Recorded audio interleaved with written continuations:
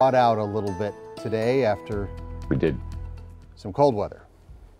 It was uh, it was freezing this morning. I mean, literally, it, it was the coldest morning we've had with temperatures in the teens uh, and lower 20s. Frost all over the place. Look at that. It was 16 in Watertown, down to 22 uh, in Milwaukee, and then you said we thawed out. Yes, we did. How about 48 for a high in Milwaukee? That's 10 degrees above normal. It was 50 in Sheboygan. It was 49 in Kenosha, and it was in the low to mid 40s elsewhere across southeastern Wisconsin. If you're a snow lover, and here we are, we're in December we typically get, you know, uh, eight to 10 inches of snow this month.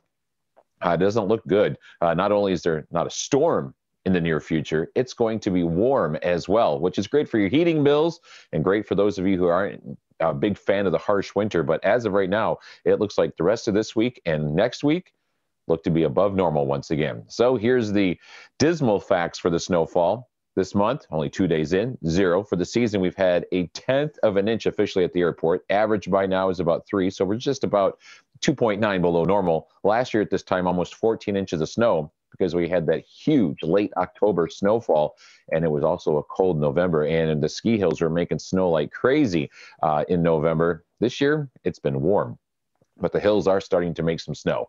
Uh, temperatures right now are in the 30s and 40s, but I can hear the wind outside. It has been gusting uh, anywhere from 15 to 25 miles per hour. There's a 31 mile per hour gust right now in Sheboygan. That is putting the wind chills into the uh, mid 20s, like 25 in Waukesha and 27 in West Bend to 34 currently in Milwaukee. So there's a little bit of chill.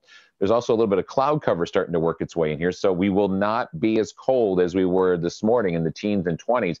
It'll be in the 20s inland, 25 in Watertown and Waukesha, right around 30 degrees at the lakefront. There will be a breeze, and so there'll be a little bit of a wind chill to deal with and some frost. Uh, we'll get up to 42 tomorrow afternoon, still above normal, not 48 or 50 like today.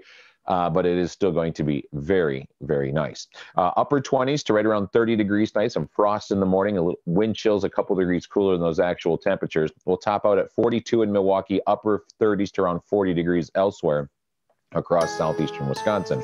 Seven day forecast 40 on Friday. 42 on Saturday. It'll be frosty in the morning and warming up in the afternoon. A few flurries. That's the only precipitation we have in the seven day. For Sunday, Monday, Tuesday, Wednesday, we're back in the low to mid 40s. The next big storm, not until next Friday and Saturday. A week and a half away, you guys. Wow. All right. Thanks, Brian.